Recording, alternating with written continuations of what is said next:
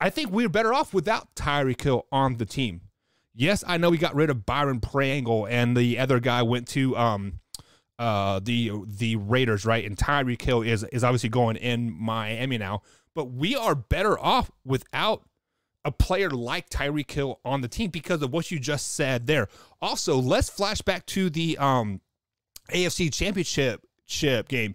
Him and Mecole Hardman were arguing on the sideline for whatever reason. No, no, it may have been the Buffalo Bill game, maybe. Like, I can't remember, but they were on the sideline.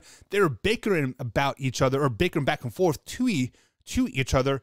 And clearly, everybody on that sideline had Mecole Hardman's back, not Tyreek Hill's back. So when we see that, on the sideline of a playoff game that you are that you are excelling at. You ultimately won the game and you're winning like at that particular point, and you're bitching and moaning that you aren't getting getting the ball or or maybe or you know you, like you aren't getting in space to do enough enough things.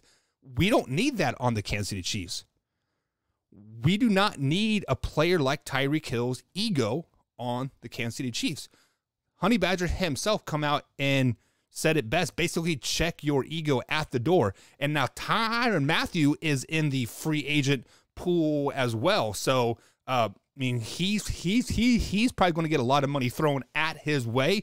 So maybe this encrypted tweet from the Honey Bad Badger, maybe he's coming back to Kansas City as well. I mean, Justin Reid with Tyrann Mathieu on the same D, D, defense, bada bing, bada, bada boom. Things might be happening over there. Things things might be good on the defensive side of the ball. But addition by subtraction is better for the Kansas City Chiefs in 2022 because I pulled up some pulled up some stats stats here. Since Patrick Mahomes has been a starter on the Kansas City Chiefs, he has played five games without Tyreek Hill. Five games without Tyreek Hill the whole the whole entire game. In those five games, the Kansas City Chiefs are five and zero. Oh. They have a winning they they have, they have a winning differential by 24 points or more. So 24 points average is is what they beat those teams by in those five games. In those five games, those stats for Patrick Mahomes: 1,700 yards, eight touchdowns, one interception. The key factor there, he is five and zero oh without Tyreek Hill on the field. The Kansas City Chiefs are a better team without Tyreek Hill on the field. Yes, he does bring explosiveness. I, I, I, I get that. Yes, he does offer those little shuffle passes that he can break at any given time. But at the end of the day, he has Barry Sanders, Barry Sanders syndrome in him.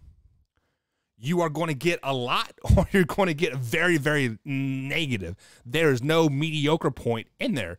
He is either going to break it for 80 yards or he's going to lose 20 yards trying to get 80 yards.